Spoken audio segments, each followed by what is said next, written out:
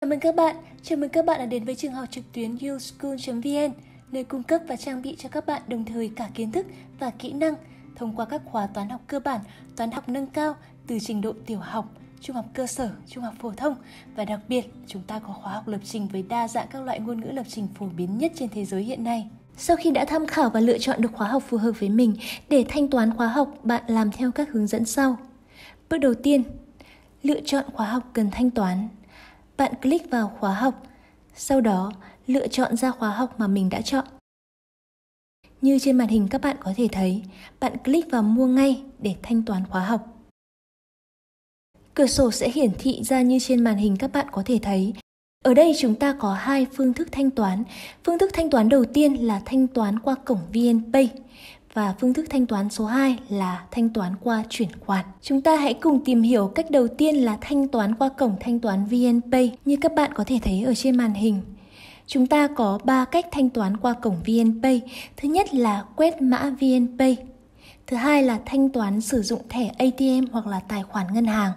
Và cách thứ ba là chúng ta sẽ sử dụng ví điện tử của VNPay. Đối với thanh toán trực tuyến qua cổng thanh toán VNPay, chúng ta có thể sử dụng các thẻ nội địa ATM của các ngân hàng hoặc thẻ Visa, Master đều có thể sử dụng được. Đối với việc thanh toán trực tuyến qua việc quét mã QR code thì chúng ta có thể sử dụng các ví điện tử hoặc là mobile banking đều sử dụng được. Như các bạn có thể thấy ở trên màn hình, chúng ta hoàn toàn có thể sử dụng các ứng dụng mobile banking hoặc ví điện tử để thanh toán khóa học. Đối với các học viên thanh toán qua cổng VNPay thì khóa học sẽ ngay lập tức được kích hoạt và ngay bây giờ chúng ta sẽ đến với cách 2, chính là thanh toán bằng cách chuyển khoản ngân hàng trực tiếp. Như các bạn có thể thấy ở trên màn hình, chúng ta sẽ chọn chuyển khoản, sau đó click vào thanh toán ngay. Trên hệ thống đã cung cấp đầy đủ các thông tin để bạn có thể chuyển khoản. Như bạn có thể nhìn thấy, đầu tiên là Ngân hàng Thương mại Cổ phần Châu Á ACB.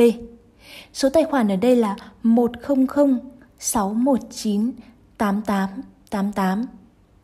Tên công ty là Công ty Cổ phần Công nghệ Giáo dục Tri thức số Việt Nam và chi nhánh Hoàng Cầu. Sau khi tiến hành thanh toán thông qua phương thức chuyển khoản xong, bạn hãy tải hình ảnh thông tin chuyển khoản lên hệ thống bằng cách kéo tệp của bạn vào biểu tượng đám mây như trên màn hình các bạn có thể thấy.